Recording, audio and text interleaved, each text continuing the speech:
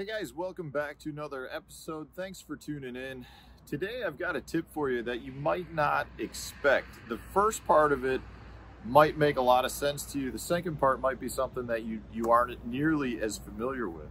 Uh, before I get into that, I just want to remind you guys to subscribe to the channel if you haven't done so already. We give out daily tips, tricks, every little bit of everything in the fishing world. So if you enjoy the channel, hit that subscriber button. It also gets you entered into my monthly prize drawing giveaways. Really no reason not to, not to subscribe if you have not subscribed already. Uh, I also want to point out that if you go to the description and click the link to the reelshot.com, uh, it's a tackle shop in Wisconsin. They have great prices, lots of really good selection. If you use the discount code STEFAN10, you'll get 10% off your order. Helps the channel out helps you guys save a little bit of money as well. Uh, so we're sitting here at St. Clair. I'm fishing the Bass Pro Tour stop number seven. I qualified by finishing in the top four at the St. Lawrence River in the Pro Circuit event, so I got to fish this event as well. Uh, I just wrapped up the first couple days of the elimination round. I finished in 14th place out of the uh, 40 guys I fished against in Group A. So I move on to the knockout round. I fish tomorrow. It'll be the uh, top 40 guys uh, that get to fish. The top 10 advance on to uh, the final day's round. So one of the things I wanted to talk about has to do with uh, something that I noticed out on Lake St. Clair, and it was actually a video topic that I was going to talk about prior to this. You know, in the summer months and early fall months, one of my favorite things to fish for largemouth is matted dead vegetation. And what I mean by that is the stuff that gets cut up and torn up floats to the shoreline and you get these floating mats of ve vegetation up against the bank. Sometimes, you know, they're in that much water. Sometimes they're in five feet of water. Just depends on how much water is below it, wherever the wind pushed these mats up into. And these floating vegetation mats are excellent because they do several things. They create shade, so on hot summer days, those fish that want to get out of shade will go under those mats.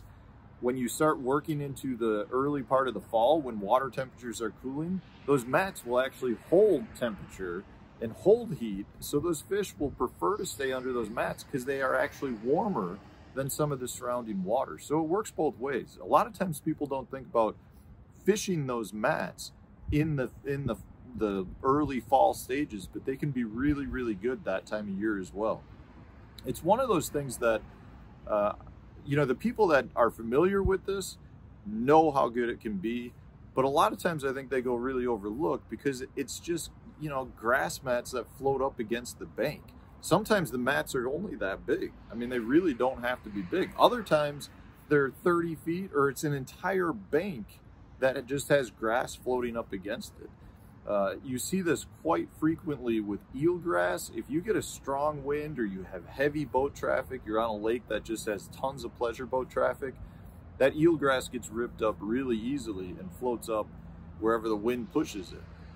The one thing is sometimes these mats are so thick, you need a really heavy weight to punch through them. I'm talking an ounce and a half, two ounce, you know, if it's those eelgrass mats, you get the, the root system and everything that comes with it, the entire, you know, 25 strands of eelgrass. So they can be really compacted and really pushed tight because if you had strong wind, they will really stack them up and they'll get really thick. So you do need really heavy tackle. It's the same thing you'd use if you're punching hyacinth mats or uh, milfoil mats. You know, you're talking about an ounce to two ounce weights heavy braided line, heavy action rods, and it's just a matter of punching in, yo-yoing it up and down, and, and getting your bites.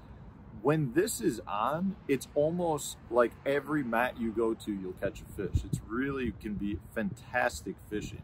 It's one of my favorite ways to fish. So that's one thing I wanted to point out to you guys. Don't overlook those floating vegetation mats. But here's the second part to this, guys.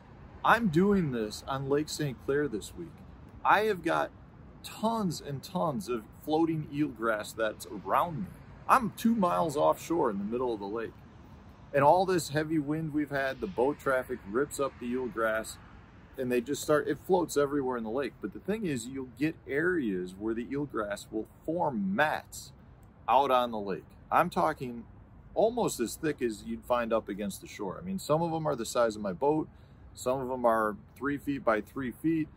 And some of them are 50 feet by 50 feet, just solid eelgrass. They'll get all compacted up. And when that happens, that creates a shaded area. I've been noticing this week that I get a lot of fish when the sun's out will come and sit under my boat. I can see them on my Lowrance active target. And a lot of times what happens is I'll get bait that schools up under the boat because it's it finds the shade and it sits under the boat because of that. Well, you give it a, a, a, you know a few minutes, and next thing you know, there's a bass under the boat sitting right by the shad. So once I identified that this week, and I've been able to catch a lot of those fish in the tournament and in practice, I started going, you know what, that eelgrass mat does the same thing. It provides shade. Well, sure enough, I can go over there, I can scan under the eelgrass mat. I'm seeing tons of bait and I'm seeing bass sitting under them.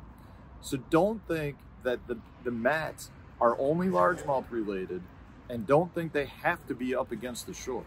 You know, these mats are miles offshore and they are working just as good as the mats up against the shore. You know, when I'm fishing this clear water here and I'm in 12-ish foot of water, well, because it's such clear water, that shadow is being cast all the way to the bottom and it's working really well. So you need to sometimes think outside of the box. You know, if you've got a pattern that works for one species, it can work for the other species, and it's just something that I think you guys want to be aware of. So that's today's tip. I hope this was helpful.